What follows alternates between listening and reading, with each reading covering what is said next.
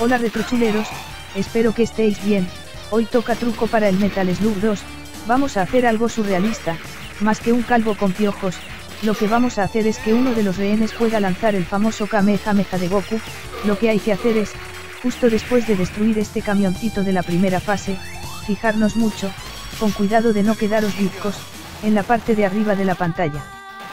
¿Veis algo raro ahí? Justo encima de esos gorriones, que por cierto, deben de estar sordos, que no se asustan con los disparos y me tengo que acercar mucho para espantarlos, en fin, ¿veis ahí arriba esos pies?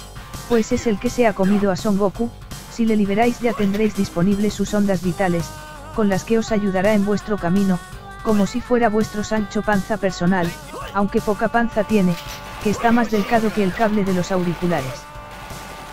Y nada más, suscribíos si queréis hacer feliz a un pobre YouTube con un canal pequeñito. Adiós.